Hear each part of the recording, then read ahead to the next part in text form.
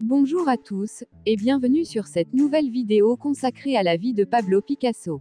Il est considéré comme l'un des plus grands artistes du XXe siècle, ses œuvres ont marqué le monde de l'art, et les esprits de nombreuses personnes. L'enfance et les débuts de la carrière de Picasso. Pablo Picasso est né le 25 octobre 1881 à Malaga en Espagne. Il était le fils d'un professeur de dessin. Dès son plus jeune âge, il a montré un grand talent en dessin. À 14 ans, il a été admis à l'école des beaux-arts à Barcelone. Il a ensuite commencé à créer sa propre technique et à illustrer plusieurs livres. En 1901, il déménage à Paris, où il devient un maître du mouvement fauvisme en créant ses premiers portraits. L'évolution de l'art de Picasso et ses années de gloire. Les années 1907 à 1914 ont été marquées par la période bleue et la période rose de Picasso.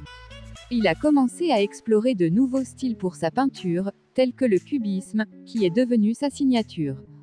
Cette période cubiste a été marquée par des œuvres telles que Les Demoiselles d'Avignon. Après la Première Guerre mondiale, il a commencé à explorer la sculpture et a également travaillé sur le surréalisme.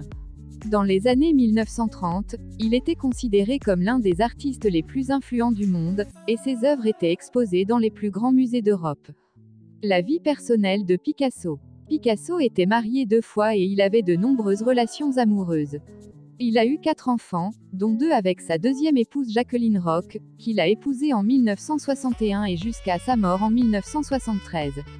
Quatrième partie, la fin de la vie de Pablo Picasso. Après la mort de Picasso, en 1973, plusieurs musées ont organisé des expositions en son honneur. En 1979 a été créée la Fondation Picasso, dont le but est de promouvoir l'œuvre de Picasso. Ses œuvres les plus célèbres sont toujours exposées dans les plus grands musées, y compris le musée Picasso à Paris et le musée Picasso à Barcelone. Et voilà, c'est la fin de cette vidéo sur la vie de Pablo Picasso.